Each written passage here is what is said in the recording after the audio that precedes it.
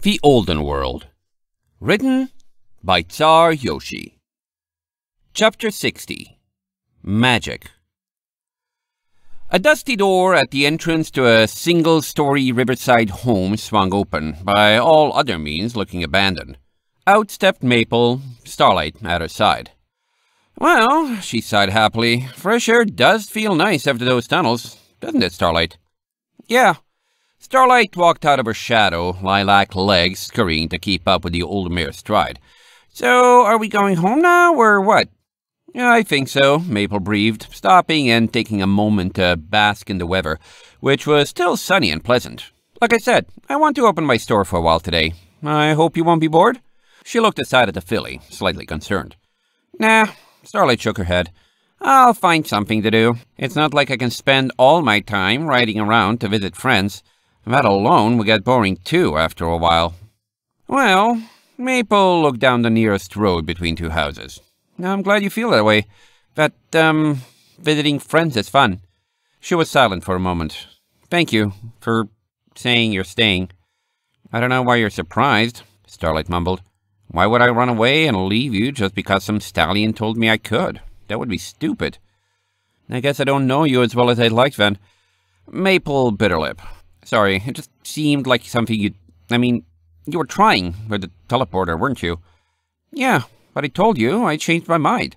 Starlight straightened herself up, perfecting her posture. Besides, I can't complain about Sunburst parents sending away just because they can and then leave just because I can right after. If I left, I'd have a good reason for it. And I tell you. Well, thanks. Maple looked again down the street. Let's get going. As they walked, Starlight let herself get lost in her head, following Maple out of the corner of her eye as guidance so she didn't crash into anything.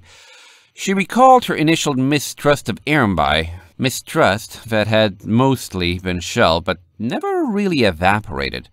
Had he been trying to convince her to run away, or merely letting her know that she could if she needed to? But hadn't he stressed how dangerous Iron Ridge was? Why would he think she would be better off there, alone, instead in Riverfall with Maple and the other mares? Was there something in Riverfall he knew about that he wasn't telling her? And if so, why not?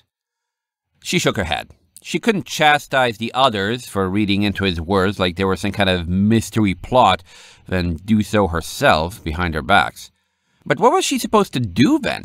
She had promised Maple she would find something to do, and everyone's fussing was stuck in her head and she couldn't get it out. What else could she do? Talking about something? She wasn't much for conversation, but she did need a distraction. But what to ask about? Maple? she asked, seizing the first thing that came to mind. Tell me about your cutie mark. Huh? Maple looked back, bewildered. What do you want to know about that? I'm curious, Starlight replied simply. It doesn't seem like it has much to do with what you do. Maple's eyes focused for a moment, until she apparently realized what Starlight was talking about. Oh, she shied back slightly. Yeah, it does, doesn't it? It sure is useful, though. I just use it for ordinary things and never really think about why it's there. Or, at least, I try not to. What do you mean? Starlight pressed, hoping this didn't have to do with Maple's past and that she wasn't being insensitive. When you think about it, it's like a dead dream, Maple answered. Isn't that sad? I mean, I guess you wouldn't see it that way, but I sure do. I wonder if it's possible for a cutie mark to disappear. Starlight clammed up. The last thing she wanted was to make Maple moody after accidentally scaring her she would leave earlier. For the rest of the walk, she remained silent. All right, Maple chirped. We're home.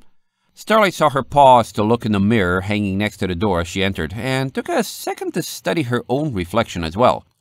Her mane looked slightly frazzled, probably from when Gerardo had been talking about countries going to war over her, but her flanks were as blank as ever, just like they should be. She stepped inside, her host already busying herself setting up a display case. Shrugging, Starlight looked around, considering offering to help.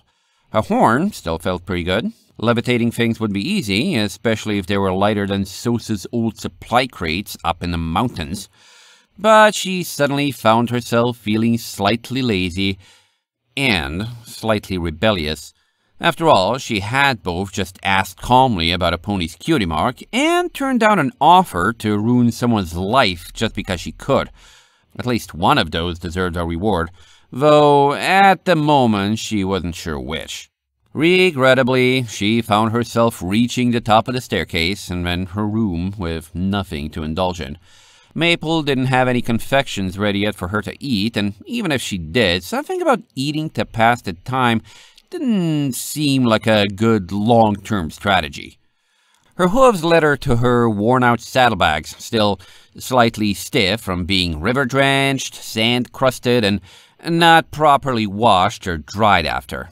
Idly, she poked at them. Her cutie mark makeup box rolled out, along with Sosa's journal, which prompted a sigh. She had read that boring thing so many times as a cure for boredom that it was worse than nothing at that point. Although... She turned to the other side of the bags, dumping out her blanket. She really needed to ask Maple to wash that. However, there was one more thing packed beneath it.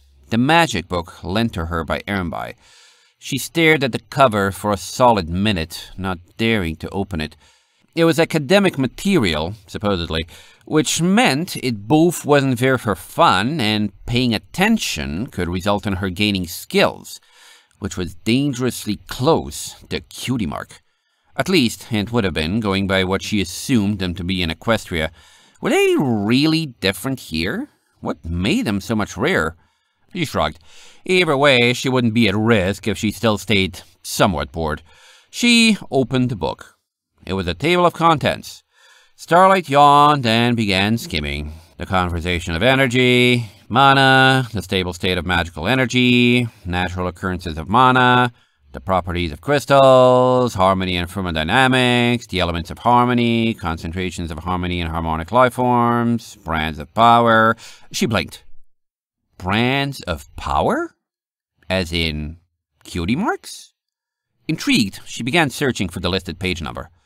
She quickly found it, realizing with slight dismay that Ehrenby's writing was just as rambly as his normal speech. Tracing her hoof along the page, she read aloud by the light of her horn. After days of interviews and poring over all the data I can find on brands, it seems most useful to categorize them on a three-point system, she whispered, imagining her voice to have Ehrenby's growly tone. There are normal brands which don't have measurable magical effects. They do things like make a pony smart about something most of the time. It's clear something's happening, but you can't scientifically measure or quantify it. Then there's more powerful ones with measurable effects like making a pony stronger or faster. Sometimes they can even do weird stuff like create certain types of objects out of thin air. There is one mare I've seen who can store anything and recall it later. Starlight stopped reading, eyes widening. Maple was in the book. She giggled slightly, then immediately stopped herself. It wouldn't do, taking pride that some ponies were being treated better than others, just because of a mark they couldn't control. Still, as little as she wanted to admit it, some part of her felt proud of the mare, and she couldn't tell why. She kept reading. The third kind are incredibly rare. I've only seen one of them, and it's going to remain anonymous in case this book falls into the wrong hooves. Their magic deals more directly with the harmonic energies that make up a brand, externalizing it in ways we've never seen before, ways that should be scientifically impossible.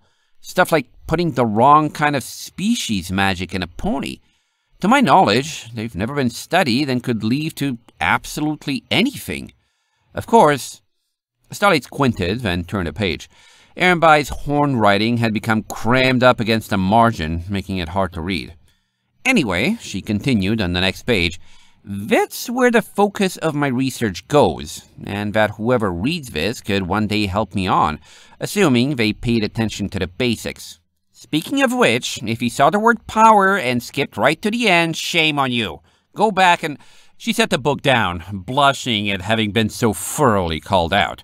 Regardless, what she was reading seemed less like academic information or scientific methods, and more like propaganda aimed at getting her to stay and help the stallion with his experiments. Had he really kept a book like that laying around, just in case? What was he even doing with something like that? Had he somehow known she would come? That was preposterous and silly, but she pondered it just the same. Her pondering was interrupted when the door swung open, Maple's cheery face sticking in. Starlight, you've been in here for a while. The corn's almost done, if you're hungry. Starlight licked her lips. Corn sounded welcome indeed. Pushing off the bed, she trotted out of the room, ready to join Maple for a peaceful early dinner. End of chapter 60.